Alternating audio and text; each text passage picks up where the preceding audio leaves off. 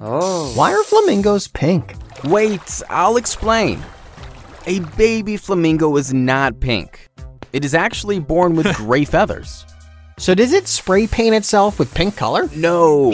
Hmm. Flamingos get their pink or orange color from their food, which is mainly algae and shrimps. These organisms contain carotenoids. Carotenoids are reddish-orange colored pigments. When a flamingo eats Oh. algae and shrimps, its liver extracts the colored pigments. The pigments are then absorbed by fats. These fats start depositing in the flamingo's growing Oh. feathers, which eventually cause the flamingo to turn pink or hmm. orange. Now, an interesting fact is that we also eat fruits that contain carotenoids, such as carrots, apricots, mangoes, etc.